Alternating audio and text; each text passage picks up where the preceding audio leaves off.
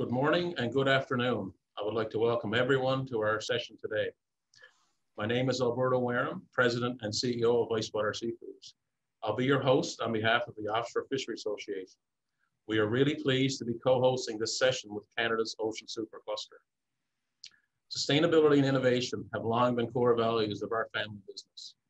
I am the seventh generation of my family in the cod business in Newfoundland. My son Ryan joined our business last year representing the eighth generation. Encouraging him to join the business says more about my optimism and commitment to the future of the fishery than words ever could. I'm really looking forward to this conversation and I'm pleased to see so many and such a diverse group have joined us today. I'm going to get started with a quick video that touches on today's topic. Please note the video was produced before COVID-19, which is why you do not see people wearing masks and social distancing.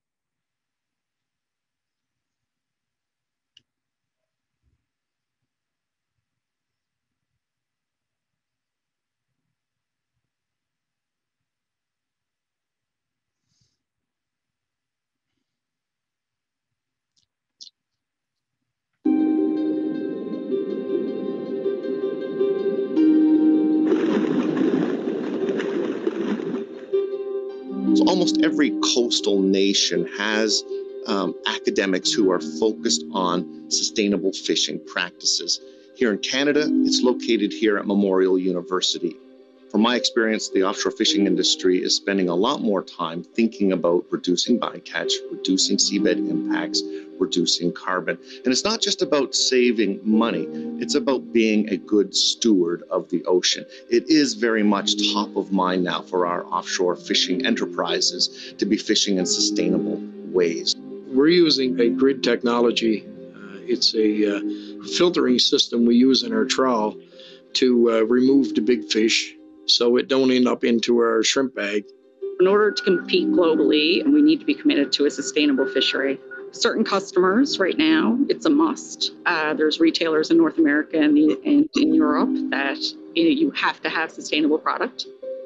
There's a lot of new technology that allows us to collect new data, and therefore that feeds into better decision making, hopefully allows us to improve, continually improve practices, including sustainable practices, as well as being able to attract a different workforce who is interested in these tools and technologies and different ways to operate in the ocean.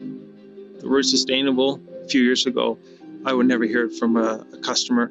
Now it's always in the front of the quest for a new system or even to fix a system or maintain a system. So Canada's fisheries are some of the most sustainable fisheries in the world, and they will continue to be so, partly because they're well managed, well regulated, have good science, and good fishing enterprises that have an interest in their long-term stewardship. But what will it look like in 10 and 20 years? I think it will look much like it does now with sustainably managed, uh, eco-friendly, eco-certified fisheries.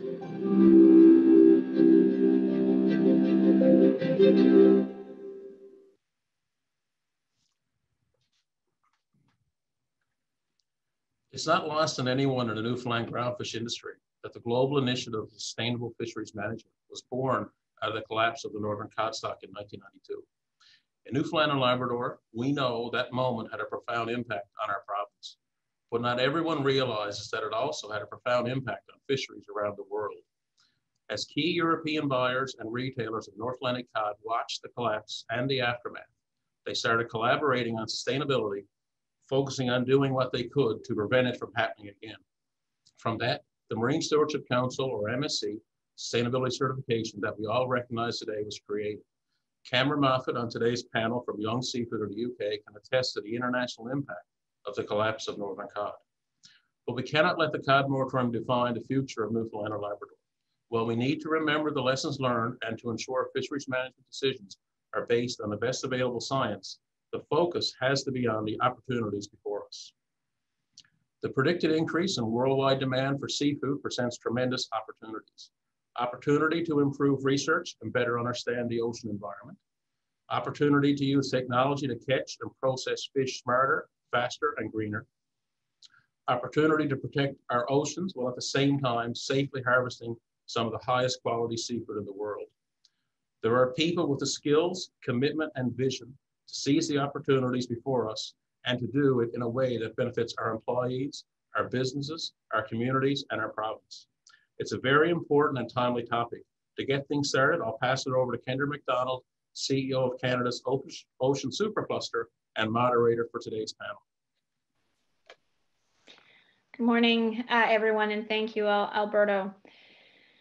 So as you just heard, I'm, I'm Kendra MacDonald. I'm the CEO of Canada's Ocean Supercluster, and it's truly my pleasure to have the opportunity to moderate uh, today's panel. Uh, today, it, uh, this week is Innovation Week in Newfoundland and Labrador, and it's been a really great week with a number of activities throughout the week and we're really excited to be um, be a part of it and to be partnered with the Offshore Fishery Association to be able to bring this event to you and really talk about innovation and sustainability uh, when it comes to the fishery. So for those of you who may not know much about the Ocean Supercluster, we're focused on growing Canada's ocean economy in a way that's never been done before. And so we bring together partners from across ocean sectors who in some cases have not worked together before to develop and commercialize solutions that are globally relevant, uh, addressing ocean challenges. And uh, so we're working really hard to make this the best place to start and build an ocean company. To date, we've approved over $180 million in Ocean Supercluster uh, project value, and we're well over 30 projects in the last six months. So it's been busy, and we're looking forward to announcing a number of those uh, projects over the course of the fall, so stay tuned. In the work that we do, we do consistently consider ocean productivity and uh, ocean health, as well as the important role that we believe technology plays in terms of um, being able to achieve both. And so the topic of today's discussion is quite fitting. Ocean sustainability and the future of food are incredibly timely issues and are a part of a bigger discussion around ocean health and productivity. Amongst a lot of recent studies, the high level panel on sustainability tells us that healthier oceans can produce up to six times more protein than today and help feed the world. And I would argue that the role of technology and innovation in realizing this opportunity is essential. Here with us today to explore this topic a little more are our panel of experts that we are thrilled to welcome to today's event. For our attendees, if you wish to ask a question during the discussion, please use the Q&A button on your screen to enter your question. From there, it will come to me and we will do our best to get through as many questions as possible with the time that we have. With that, I'll introduce our panelists. Once I get through the introductions, we will give each of the panelists a couple of minutes to provide some opening remarks.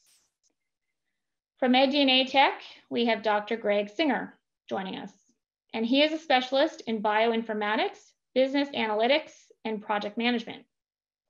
As project manager, Dr. Singer helped establish the ambitious International Barcode of Life project. At the Biodiversity Institute of Ontario, University of Guelph, Dr. Singer leads an eDNAtec's team of bioinformaticians and data scientists that manage, analyze, and interpret the data produced by its research facility and has led the development of various proprietary bioinformatics pipelines. Next, we have Cameron Moffat, the Sustainability Manager for Young Seafood, the UK's largest seafood producer, processor. As a key member of the Corporate Social Responsibility team, he is leading Young's work on responsible procurement through their Fish for Life strategy. He currently represents the business sitting on several key technical advisory committees, including Fisheries Innovation Scotland, the Responsible Fishing Vessel Scheme, and chairing the Project UK Plaice and Lemon Sole Fishery Improvement Project. With an in-depth understanding of the challenges facing our industry, Cameron graduated from Bangor University with a degree in marine biology. And prior to Young's, he worked within the science and standards team at the Marine Stewardship Council. Then from Ocean's Choice International, we have Carey Bonnell, VP Sustainability and Engagement. Carey began his career in 1997 at the Marine Institute at Memorial University, progressing through roles that included a one-year international placement with MI in the Philippines in 1998. In 2000, Carey moved to Nunavut and progressed through various positions, including acting deputy minister of the government of Nunavut's Department of the Environment. Carey subsequently joined the Canadian Centre for Fisheries Innovation and was promoted to the position of Managing Director in 2007. In 2010, Carey was appointed as head of the School of Fisheries at the Marine Institute until February 2018 when Carey joined Ocean's Choice International in his current role. In addition to his institutional responsibilities, Carey also serves on a number of committees, including industry co-chair of the Canadian Seafood Value Chain Roundtable, past president of the International Association of Seafood Professionals, chair of the Fisheries Council of Canada, and is a member of the board of directors for Innovate NL. And last but not least, Mark Lane. Mark has called Holyrood, Newfoundland home since 1982, and he holds a Bachelor of Science from Memorial University, an advanced aquaculture diploma from the Fisheries and Marine Institute, and an applied business information technology graduate diploma from the College of the North Atlantic. His work experience includes a 20 uh, plus year military career as a commissioned officer in the Canadian Forces, owner operator of several small businesses, and presently employed as the executive director of the Newfoundland and Labrador Aquaculture Industry Association, a member-based organization with a mandate to facilitate and promote commercial, commercial development of aquaculture.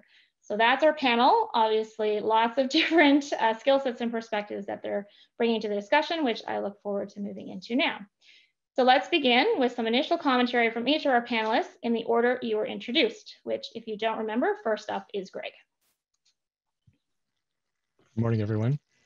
Uh, I'm really the oddball on this panel because I'm not associated with the fisheries or aquaculture industries. However, I am from a company that's uh, using a technology that I think will provide, better data to these technologies or to these industries. Um, we study something called environmental DNA. Uh, and it's based on the concept that all living things on Earth have DNA in their cells. And as part of the normal life process, we actually release that DNA into our environments constantly. So if you were actually to vacuum around inside your house and then send the vacuum bag into us, we could probably get the DNA from yourself, anyone living with you, any pets you have, pollen from plants and trees that live near your house, and so on and so forth. And in the marine environment, we do the same thing. We can get a liter of seawater, and it actually contains the DNA from thousands of organisms that live in that environment. And we can read that DNA and tell you what's there and if it's changing over time with subsequent sampling. So we established a research center around uh, mid 2017 uh, in St. John's to commercialize this technology, uh, mostly for the oil and gas industry. But uh, recently we've started partnering with fisheries to expand the technology into this area as well. Uh, this is a major part of the DFO's strategy, uh, using eDNA to improve their data collection and data understanding. and similarly, the US NOAA recently released a report where eDNA is playing a major role in their new technologies uh, because it's non-destructive, it's faster, provides better information, and samples can be archived and then reanalyzed in the future with better technologies as they develop. And uh, I think I'll stop there. Thanks. Thank you. Over to Cameron. Thank you, Kendra. Um, so in my section, I'll take a bit of time to focus on the in the UK market and the importance of sustainability to our customers and consumers, um, and kind of how that's affected seafood purchasing, particularly in the UK retail space. So over the last few years, um, we've certainly seen a change in the in the UK market and the retail consumer, um, with sustainability increasing in their awareness. A lot of people going from what we term as um, eco dismissers to eco considerers or eco actives. So this is particularly prevalent in the seafood space where we've seen um, a change in, in mindset due to documentaries such as Blue Planet, um, bringing to front of mind issues such as overfishing, uh, marine plastics, and uh, climate change. So today in the UK, the, the sort of recognition of third-party assurance schemes is, is steadily increasing. So for an example, the, the Marine Stewardship Council, I think it's somewhere around 45% recognition in the UK. I'm sure someone on MSC can correct me on that. Um, but early in, in, the early 2000s, it was a completely different space, and it was very convoluted. It convoluted in terms of uh, labeling on pack, making it much harder for consumers to make informed decisions. So in 2011, um, a group of retailers and um, their direct processors in the UK came together to form the Sustainable Seafood Coalition. Uh, this coalition's vision was to essentially have all seafood in the UK come from sustainable sources. Uh, and it did this through a sort of a risk-based um, decision tree approach where it gave a, a, a labeling guide that was consistent with, with two distinct um, options of sustainably sourced or responsibly sourced. And this has been particularly successful in the UK. I think it's been a really good driver of change. And it's, uh, can, a good barometer of the fact that it's been replicated in, the, in markets such as Hong Kong and, um, and Spain. So without going too much detail of the code, these, these terms of responsibly sourced and sustainably sourced are, are really important for, for the UK retail market now. So sustainably sourced is, is something that can be put on pack if you have a third party benchmarks uh, sustainable or eco label on, on pack. And responsibly sourced is more linked to a fishery that could have that certification should it wish, but may not do because it's maybe small scale, or, or it's also in a improvement program such as a fishery improvement pro project or an agriculture improvement project. And this kind of brings me to why, why I was asked to be on here today. We're, we're obviously linked with the um, Northern Cod FIP in Canada, um, with cod being a major component of uh, the UK's top five species. Uh, we really do love our chippies. Um, it's, it's vitally important for us to drive sustainable practices in, um, in groundfish fisheries.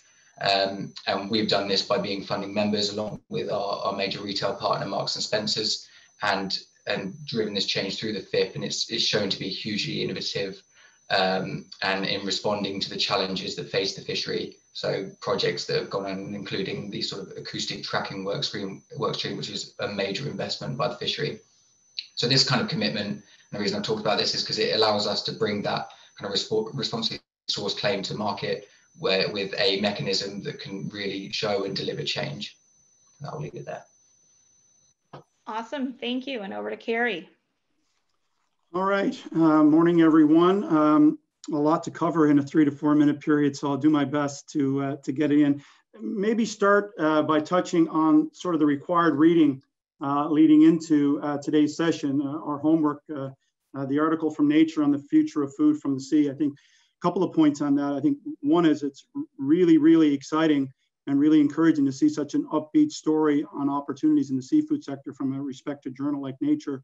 Uh, our history uh, on some of these articles has been more around doom and gloom and apocalyptic predictions, such as the dire prediction uh, that all fish stocks would be extinct by 2048, which was later debunked, but uh, people still refer to it. So it, it, it, it, it tends to stick around. One of the key conclusions, I guess a couple of key conclusions from the Nature article, one is the potential for edible protein uh, to increase by, I think, anywhere from 21 to 40, 21 to 44 million metric tons by, by 2050 is, is certainly extremely exciting, uh, um, uh, driven by population growth, of course, uh, moving towards uh, 10 billion people by 2050, growing middle class societies and, and, and uh, particularly in the developing world and the demand that that's going to create and an in, increasing consumer interest in sourcing high quality, nutritious, sustainable food. And I think this is where we have a significant advantage in the seafood sector. Uh, we, we have high quality seafood, we, it's nutritious, um, and I think if you were to look at an apples to apples comparison of seafood and other food production uh, uh, sectors uh, from a sustainability standpoint, whether you're looking at the carbon footprint, whether you're looking at biodiversity, whether you're looking at requirements for water use, terrestrial land, uh, the opportunities both for wild capture fisheries and aquaculture really are quite significant. So some, there are some real opportunities there.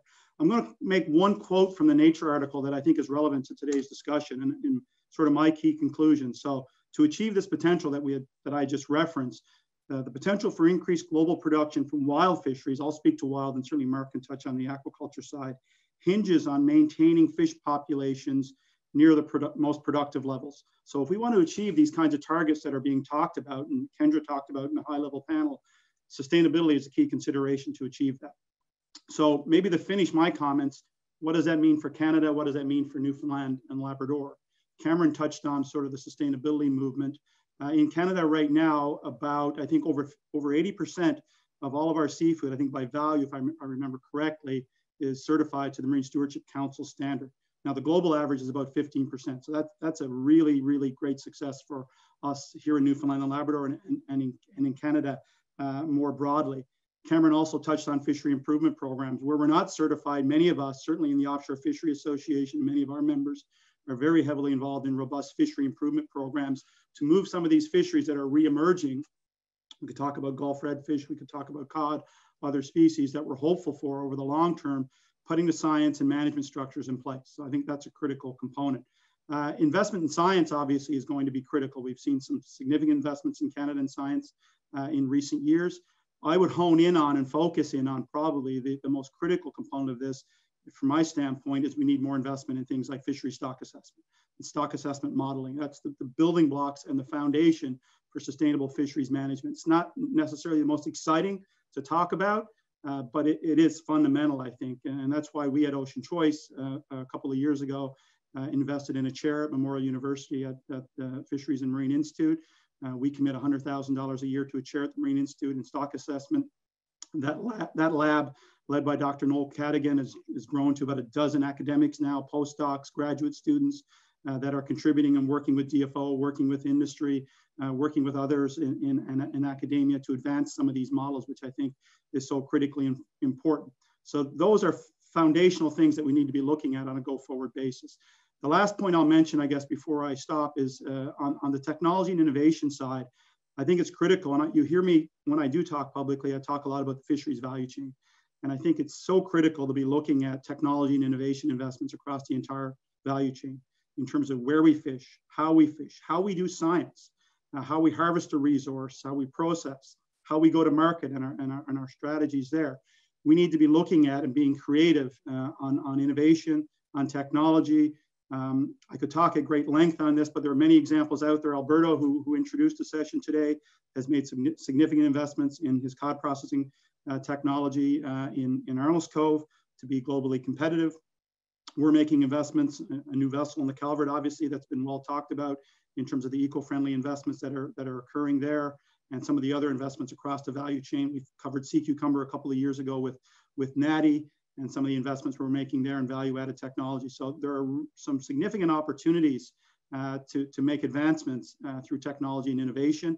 I think the Ocean Supercluster in particular, Kendra touched on this, uh, has created a great opportunity to engage uh, the local tech sector. And, and, a shout out, and this is my final point uh, before turning it over, a real shout out to the local technology sector in the province. It's been a challenging year uh, economically here in the province, but one of the bright lights I think has been the growth in the technology sector. And, and we as an industry uh, need to be engaging more actively with the local technology sector and the regional technology sector to solve uh, some of the key challenges that we face in the industry and to help move us forward on sustainability, but also on global competitiveness. Maybe I'll stop there. Thanks. Awesome. Thanks, Carey. And over to you, Mark. You're on mute, though. I got it. Thank you, Kendra, and good morning, everybody. Uh, and thank you for the opportunity to participate in today's discussion. You know, we're here because it's Innovation Week, and I think this week's theme is opportunity in uncertainty. And we certainly live in uncertain times. But one thing for certain, as Carey had talked about, is seafood, and we have to feed the world. And that, and from my perspective, perspective, that feeding our oceans is an absolute necessity, or farming our oceans is an absolute necessity uh, to feed the global demand for seafood. And that's in, ever increasing because of population, because of consumer trends and consumption. So we certainly have an opportunity here in Newfoundland and Labrador to grow uh, this sustainable and environmentally responsible sector, aquaculture. And that's to provide premium seafood for tables here at home and around the world. And as I often say, though, bringing it brings much more to the table than just seafood. It brings jobs and business opportunities in rural coastal communities like Harbor Breton, Hermitage, uh, uh, Triton, Stephenville, Daniels Harbor, just to mention a few. So I know Kendra, you had talked about, and Carey had alluded to some of, you know, what is the global demand and where are we headed?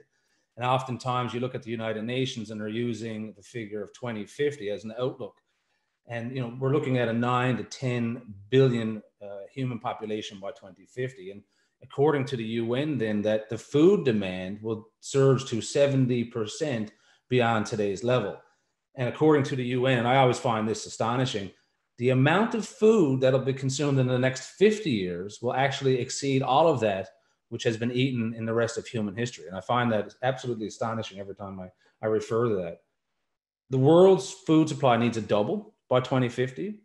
And since 2019, more than 50% of all seafood consumed is now of farmed origin.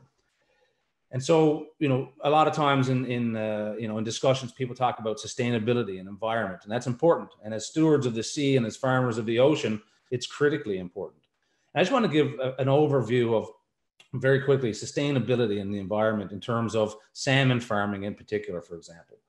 To put and to produce 18 billion meals of salmon, so 18 billion meals of salmon last year, we required 0.0008% of the world's oceans. So very minuscule to provide a lot of food for a growing population. And to put it in perspective of other uh, agricultural activities, you got a million kilogram to produce a million kilograms of salmon requires about a you know 1.6 hectares. To produce the same amount of beef, for example, requires nearly 3,000 times that in land space. And with respect to you know fresh water usage, food conversion, uh, carbon emissions, aquaculture is the most environmentally friendly form of animal protein farming on planet Earth. So I suggest to everybody who's participating, and I'll, if I can, I can share the link afterwards. There's a TED Talk, and it's the TED Talk is actually called "The Future of Food" by Dr. Steve Gaines, and he's the dean of environmental science, and he has calculated the relative carbon footprint of various uh, forms of animal protein farming, and from his perspective, aquaculture outperforms many others. So in Newfoundland and Labrador, you know, we currently commercially farm uh, Atlantic salmon, rainbow trout, blue mussels, and oysters from a commercial perspective. And the total economic activity is roughly around a billion dollars annually, $400 million in GDP, $200 million in wages, and around 3,500 person years of unemployment. And I guess, uh, and the Kinsley report, uh, which was released, I think, a couple of years ago, they had actually identified that we could grow the industry here in this province uh, four times of what we currently are today. And this is Innovation Week, as we know, and aquaculture is one of the most technologically advanced and innovative industries in existence. And as farmers of the sea, we continually invest right through, as Carey had mentioned to, the value chain, right? So in our perspective, right from egg to plate. And we invest for, in, in terms of innovation and technology in every aspect of that. And I noticed uh, earlier that, uh, you know, some friends of mine from Innovasea and Romor, real-time environmental uh, real-time environmental sensors and monitoring capabilities. So I can log into my cell phone and look at a farm and see what type of um, you know see all the different oceanographic parameters. We've got Scale AQ and Deep Trekker with remote operated uh, submersible robots, AKVA, Gael Force Group, and these all have a local presence here in Newfoundland. Skretting, you know, in terms of feed, for example, provides innovative and sustainable nutritional solutions. I'll end on this uh, look, I consider myself to be honored uh, to be working in such a diverse, innovative, and technologically advanced food production, uh, be it aquaculture. There is an ocean of opportunity awaiting us here in Newfoundland and Labrador. We got the ocean space, and the opportunity is ours to pursue. And I think through collaborative relationships and partnerships with our partners in the wild capture fisheries, such as OCI or Alberto, for example, and with you, Kendra, with the Ocean Supercluster, I think that's key and embracing technology in the past and certainly moving forward in the future will enable us to really grasp that opportunity, seize it, and provide premium seafood growing right here in our ocean space in Newfoundland and Labrador for tables around the world. So thank you. Awesome. Excellent. Thanks, everyone. So we're going to jump into questions. So Cameron, here's a question, I think more specifically for you. How closely does Young Seafood follow resource management, harvesting practices, and technology of suppliers and different countries?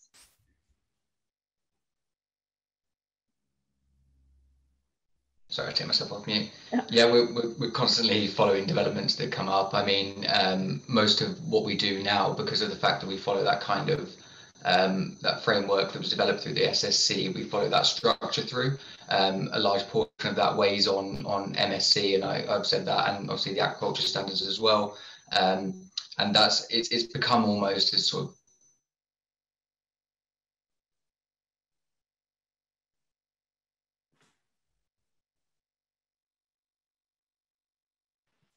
Oh, I think we lost Cameron.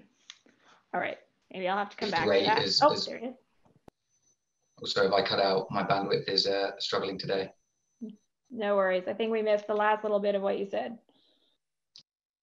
Oh, sorry. I was going into I was going into Brexit, but maybe it's best to uh, steer clear of that in terms of continuing development.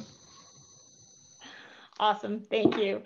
So, Greg, um, start with you on this question, but others can jump in. We know that the ocean environment is changing what is it we can do now to better understand the ecosystem and the role of technology in that understanding?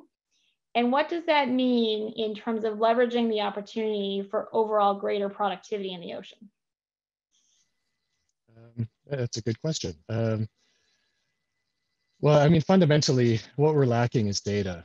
Um, so we're engaged in a project with the DFO, for example, where they're they're looking at the Labrador Sea.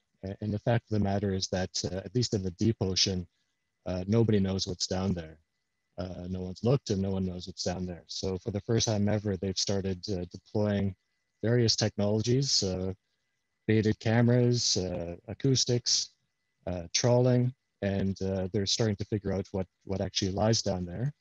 Uh, and in addition to that, they've collected water samples to, to do environmental DNA analysis. And uh, we've just had a paper accepted about this where uh, they showed the environmental DNA actually were, was able to detect more species with about uh, an order of magnitude less ship time than uh, all these conventional technologies combined. So they're, they're quite excited about those results.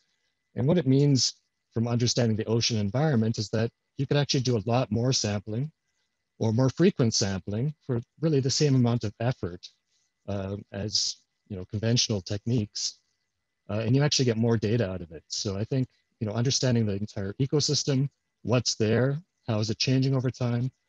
Uh, we can even construct food webs, so understanding what's eating what, you know, what are fish moving because they're chasing their food and whatnot. Uh, all these things can be much better understood with better data. Uh, and of course, this ties in very closely with sustainability. Uh, you know, it goes back to uh, Carey's comments about uh, fish stock assessment. Uh, right now, those assessments are based on really poor data. I think even the DFO would admit that they have to take a very cautionary approach because they really don't have a good sense on, on fish stock populations. And of course, better data will, will really greatly assist them with those efforts. Thank you. Any anyone else comments on the role of technology in getting a better understanding of the ecosystem? Maybe a brief comment here, uh, Carey Kendra. Um, certainly, I mean, we've, I'll use one example, the Ocean Aware project that we've just launched with Innovasea and other partners. Uh, we had a session on only, only a couple of weeks ago. We collect so much data as a company and others, others do as well and uh, we utilize it to a certain extent, obviously, but it's it's uh, it's more backward looking, right? We can look back at the data we've collected, where we fished, how we fished, catch rates, and so on. We haven't really used it as a predictive tool from a forward-looking standpoint, and, and that has benefits both from a product, from an, an, uh, an operational efficiency standpoint as a company in terms of bottom line benefit, but it also has sustainability considerations. I mean, one of the things we're looking to do under this Ocean Aware project is a large scale tagging program of the Southern Grand Bank so we can ha have a better understanding of yellowtail flounder distribution, American plaice distribution as a bycatch species, cod and other species. So we can identify the optimal areas that we want to be targeting our fishing effort. Everything is quota management based now anyway. So it's not, you're not making an argument there that you're, you know, you're chasing few fish. It's, it's sustainably managed. So you can focus your efforts so you're spending less time, less fuel, uh, more efficient. But then the data that's collected from, from, from that work can also feed into uh, the stock assessment models that I referred to earlier that Dr. Cadigan is developing. And we can start looking at collecting environmental data. Right now we collect temperature. So we have surface temperature and sea bottom temperature. Why couldn't we be collecting dissolved oxygen and salinity and, uh, and, and, and other environmental variables that would be very valuable both for us because you know we know that fish move based on environmental cues but also important for our government regulator, Department of Fisheries and Oceans, important for our academic researchers, and can help improve these models, particularly within a climate change regime that we're facing now. We need new, more robust models that can adapt for those sorts of changes. So I think we're just scratching the surface on the opportunities and introducing, I know there's another supercluster on AI, but artificial intelligence and weaving that into this conversation. There's so much opportunity, but as I mentioned a couple of weeks ago, we're just starting to realize what we don't, we know now what we don't know, but there's so much more space uh, here that we can be advancing and utilizing these vessels of opportunities that we have out there. Awesome. So I might jump to the next question. Uh, I'm going to follow up. I know Mark and, and Carey, you both touched on this, this huge additional need for protein. And I think, Mark, you talked a little bit about Newfoundland and Labrador and, and the space that we've got. But from your perspective as a province and, and as a country, are we ready to take advantage of the opportunity that this increase in demand uh, is going to bring? And if not, what are some things that we need to be doing to get ready? Well, you know, we, as I said, we've got the ocean space. Uh, we use very little, and put it. Let's put it in the context of Norway, for example. So let's take salmon farming specifically. Norway has twenty-five thousand kilometers of coastline. This province has seventeen thousand. Their salmon farming industry has grown to one point two million tons. Ours hovers around twenty thousand tons. Theirs worth eleven billion. Ours worth or total market value of around quarter of a billion.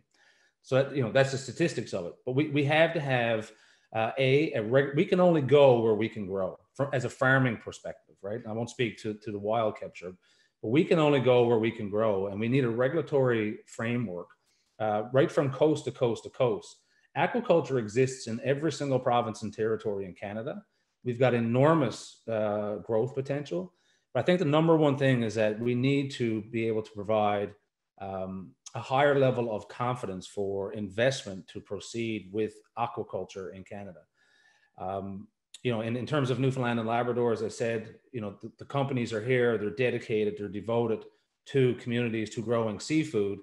And I, I think with being more uh, open to, to, to business, we can attract additional people and additional investment for the benefit of everybody. And as I said before, not just to produce premium seafood, uh, sustainably farmed, but but jobs and business opportunities in a struggling economy. Any other one? Any other comments on our readiness as a province, as a, as a and as a country for the opportunity? Maybe two quick points on the wild capture fishery side. I guess one is um, I didn't mention on the front end, but uh, the, the, UN Food and Agricultural Organization has a fish price index, uh, and they they you're monitoring global fish prices both for farmed and wild seafood uh, every year. For the past nearly 20 years now, we've been on a steady growth in terms of global prices for the reasons that I outlined on the front end and Mark touched on as well. Uh, the expectation is for the next 10 years now, uh, that demand. Now we've obviously COVID has, has, had an impact this year, but going forward over the longer term, those prices are going are going to uh, continue to grow. We hope at least, or we expect, they expect, based on the points that I'd made. Uh, the, the, the, opportunity for us here in the province or in the country to take advantage of it has got to be based on, on on, on market cues, and, and, we've got to align with those market cues and make investments accordingly. So two examples that I would cite, I touched on the sea cucumber investment that we've, we've been making and others have made uh, in the province in recent years. Um, we invested over a million dollars a couple of years ago uh, in, uh, in drying technology in St. Lawrence around sea cucumber. We did that based on a market opportunity. You're just not going to invest in new technology and innovation without a market driver. We saw an opportunity we aligned our value chain and, and we pursued it and we're getting value from that and that's creating opportunity in rural Newfoundland. This year is another great example. Let's look at the snow crab industry. Uh, COVID uh, put a massive dent into the food service market, nearly wiped out probably, you know, give or take half half of our half of the market uh, opportunity this year um, uh, for, for snow crab. Those in the industry had to pivot. We had we had to move in different directions. We saw opportunities in retail. So some of us, certainly I can use our, our company as an example, uh, invested heavily and focused heavily on retail opportunities. Consumers still wanted to eat snow crab, but they were going to eat it at home.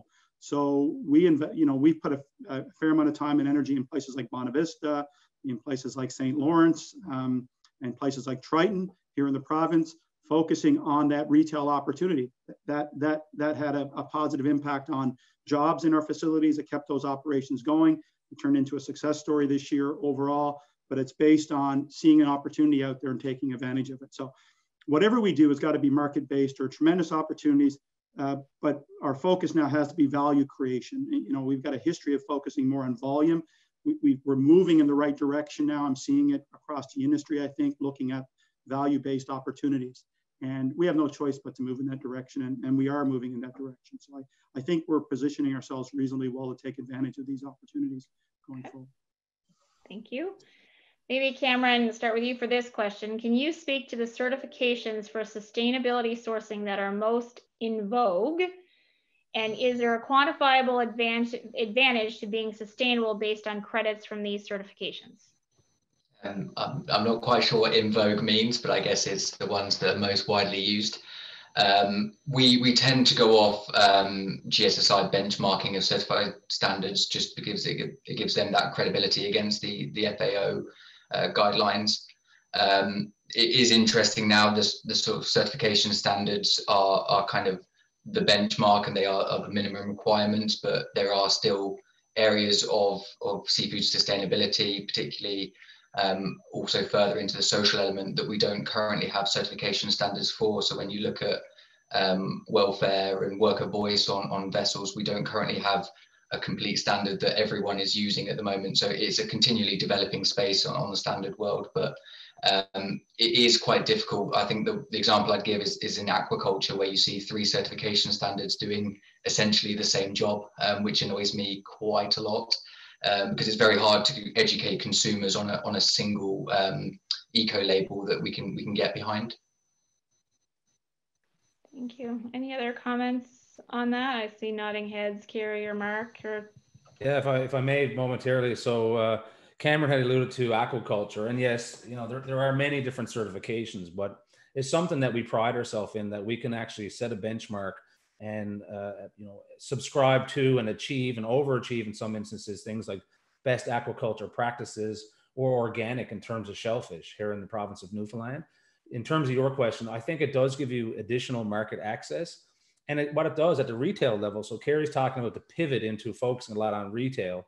Uh, and I think, you know, when people, consumer trend is today, foodies like myself per se, you know, we're looking at uh, you know, what type, you know, where's the origin of the food, who produced it, where it came from, what sort of standards are in place. So I think what it does, it, it gives you better market access, and certainly from a retail perspective, it gives people consumer confidence of how their food was produced. I would I would completely agree with with those points there. I think the next sort of stage within seafood is is having that distinct link in traceability. So the the sort of prevalence of the global dialogue on seafood traceability now and how that's coming into its sort of next iteration and, and getting applied into businesses. I think when consumers have that better insight on where their seafood is coming uh, coming from, that's that's far more important. I mean, I was asked uh, as part of this as a sort of prelude of what UK customers think of Canadian seafood and in all honesty, they probably don't know where their seafood comes from, and that's the sad truth of it. Um, but as we move to more digital trace digital traceability systems, we can really give the consumers that insight into into their seafood and, and the actual producers behind that seafood. Great. So, uh, Carey, you touched on, and all of you touched on innovation and the importance of technology. Are there things that you see in other jurisdictions that you'd really like to see us doing here in Canada?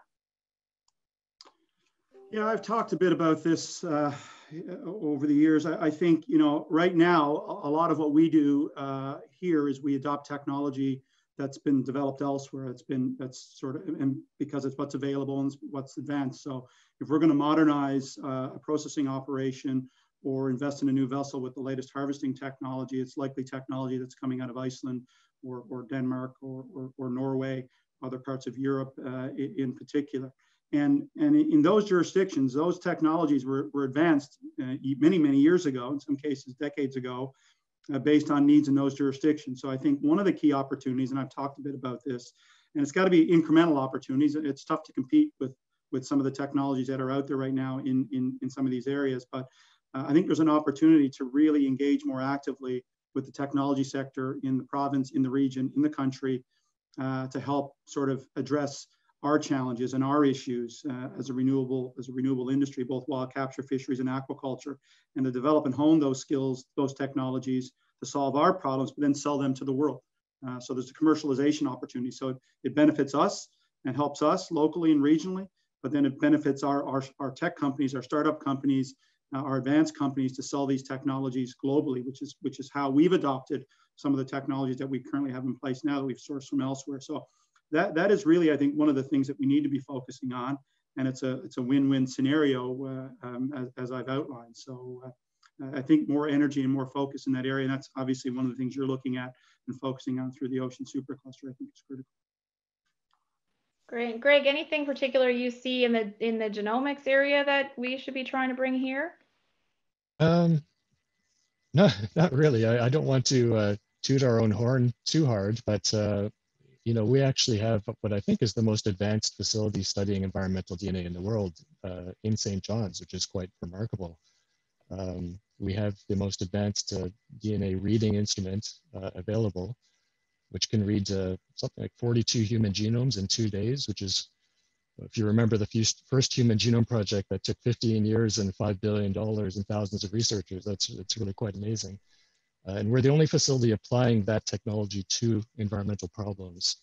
Uh, and so I think, you know, we're, we're really in a good position, I think, to maintain our leadership in this area. And we're just looking for more partnerships, more projects to, to demonstrate the technology and, and really grow it.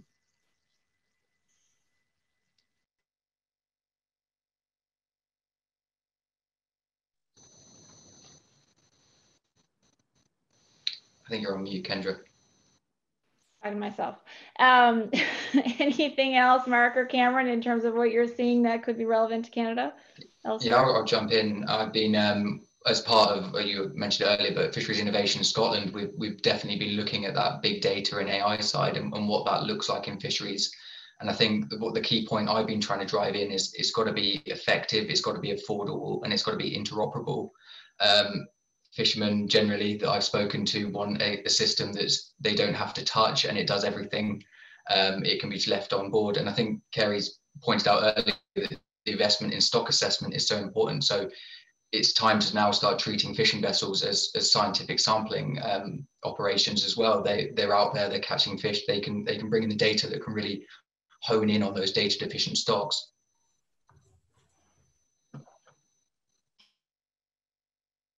Okay. So uh, we talked a little bit about engaging our local tech uh, ecosystem more. One of the questions that we've got is, you know, how can international companies engage with Canadian producers?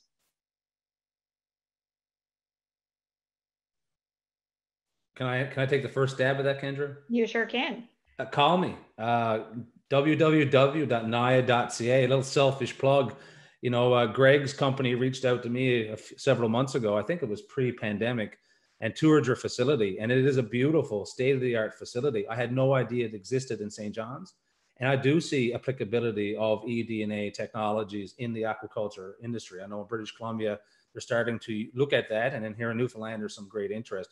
But I think the first thing is, is to reach out to industry associations. Uh, you know, we have our fingers on the pulse in terms of recent developments, and we have the connectivity to the frontline users of the technology. So I think the most important thing for those who may be in attendance internationally is reach out to the Natties or the TechNLs of the world, the NIAs, the NIAs, the Noyas. It's hard to keep all those straight. And the Ocean Supercluster, of course, right? We're all partners and uh, we're all in this together. And I think the, the first thing is to reach out. Great. Other comments on that? Carey, I see you coming off mute. Yeah, not not much to add. I mean, a lot of this is already happening. I mean, we we we tend to source both. I think on on the on the wild capture fisheries and on the aquaculture side, we source a lot of technologies overseas now uh, because it's it's the it's the proven technology, right? So there's no use trying to reinvent the wheel on some of this, but there are great synergies that can be had. I think between some of these international companies and some of the local local companies that are either startups or or, or existing here where there's incremental value. Maybe it's taking a technology and adding an AI uh, element uh, onto that and, and encouraging these companies to set up shop here as well to build the capacity uh, in, the, in the local community. I, I think all of this is going to be so critical and it's a big focus of the supercluster, but even more broadly, I think it's going to be so critical going forward. On the other side of this pandemic, we don't want to talk too much about it, but austerity is coming, obviously, and it's not a provincial or national limit, it's a global issue. Uh, the, so we're going to have to find ways to do more with less in the years to come. And we're going to have to find the best and brightest and the ingenuity out there in terms of how we do fishery stock assessments, how we manage fisheries, how we conduct our fisheries, and um, utilizing vessels of opportunity that I touched on earlier. All these things are going to be so, so critical in the years to come when we are going to be forced to do more probably with, with less resources. So it's, uh, it's an important conversation. Great. Um, so it, one of the questions is just around uh, are, are Canadians eating enough fish? Are there, are there barriers to Canadian marketplace demand for seafood, and are there things that we should be doing to to try to get Canadians to eat more seafood? Anyone want to tackle that one? Do you want me to go? Well, I can't talk about Canada, but it, it's a similar story in the UK. Um, despite government guidelines on on what eating two portions of seafood a week and being an, an island nation, we still don't eat anywhere near that. I think it's about 1.1, if, if if that. Um, I think there's there's an increasing role to play in the marketplace and delivering offerings that that compete with the other proteins, particularly as as Mark's sort of elaborated to that we are delivering a very sustainable protein from a from a carbon perspective and land use perspective, well, all round a holistic sustainability perspective, really. Um, but there's also an education piece that I feel that we're looking at in the UK of, of introducing younger people to seafood. They seem to be afraid of it if it's not in a, a fish finger format, which my my employers probably won't want me to say, but yeah. So so I'll I'll just add a point or two on this. It's a question I get quite quite frequently. You know, why don't you sell more seafood uh, here in the province or, or, or in the country? Uh, there's a couple of challenges associated with that, but I also think there's an opportunity. Uh, one is per capita consumption, Kendra, as you indicated, is, is very low in Canada. It's, it's low here, here in Newfoundland and Labrador as well in comparison to large parts of Europe where you've got a half a billion people uh, that that uh, you know eat a fair amount of seafood. Then if you go to Asia uh, with these growing middle class societies, uh, growing population base, uh, the ability to pay for um, um, high quality seafood and an insatiable appetite for seafood, per capita seafood consumption is, is through the roof. Obviously, that that's where your your bang for your buck is, and your and your energy is going to go because if you have to sell 70 million pounds of seafood a year, you have to focus on those market opportunities.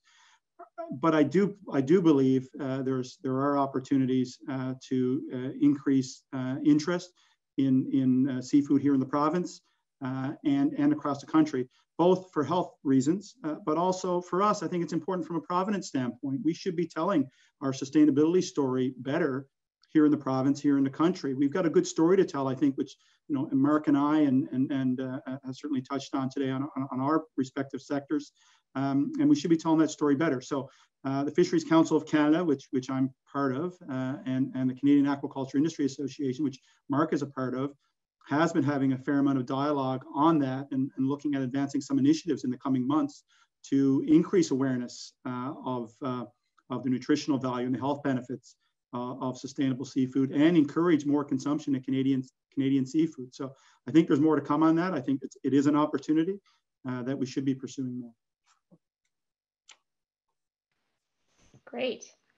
Um, so, so we're talking about technology and innovation. Are there things uh, with technology that uh, in terms of seafood quality in the wild fish, I want to make sure I read this question properly. Seafood quality in the wild fishery, especially with small and mid-sized fleets, how could technology potentially improve the overall quality of fish delivered for processing? You want to tackle that? Uh, well, listen, there, there's always uh, room for improvement uh, in, in, those in those areas. Uh, I, have seen, if you think of um, and not something we're actively engaged in directly with the, the sector, but I know the inshore sector, my family are inshore fishermen and a lot of my friends are, are, are as well. There's, a, there's been a significant effort through the Atlantic Fisheries Fund as an example of the last couple of years to focus more on the development of longline technology in, in, in the cod fishery as an example, but not exclusively to that. I know there's been a lot of interest in expanding uh, investments in onboard handling technology. So using, you know, slurry ice and, and, ice technology to, uh, from a quality standpoint, uh, you know, what, what Alberto produces in, in Arnold's Cove, what we produce in Fortune, uh, it's, it's, it starts in the ocean and, and, and it works back from there. So, you know, you have to have high quality throughout the value chain and everybody has got a role to play in that. We've got a role to play that in that certainly in, in our, in our operations, uh, but so does the, so does the inshore uh, sector and independent fishermen.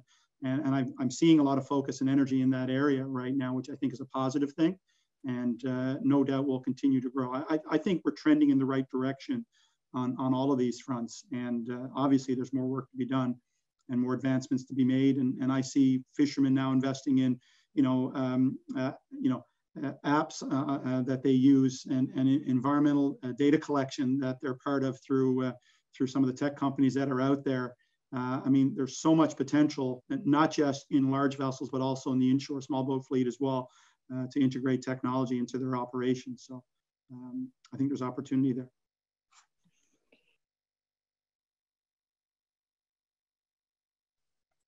Kendra, you're on mute.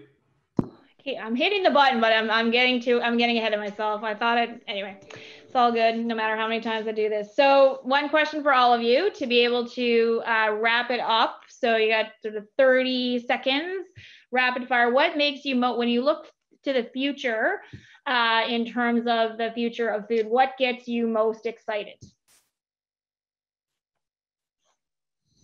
I'll, I'll, take the one first. I, I, have kind of alluded it to so far. I mean, the digitization of the seafood industry is the bit that really excites me.